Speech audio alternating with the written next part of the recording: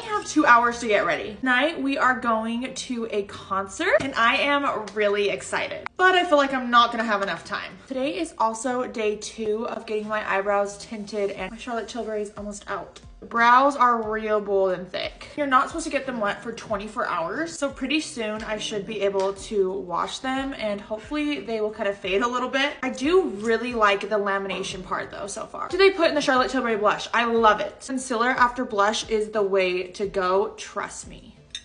Proof that the blush under the concealer is the way to go. Bronzer, blush, highlighter, Charlotte Tilbury, they kill it. I have an itch. He gave me this tiny brow comb and how have I not had one of these sooner? Excited for tomorrow because day three is supposed to be the best brow day. So please do not look at my hands, but I know now you're looking at my hands. They look pretty, pretty terrible. If you can naturally get tan, I am so jealous of you. I am not gonna gatekeep, you need this gloss. The Fenty Skin Gloss in Melon Treat will thank me later.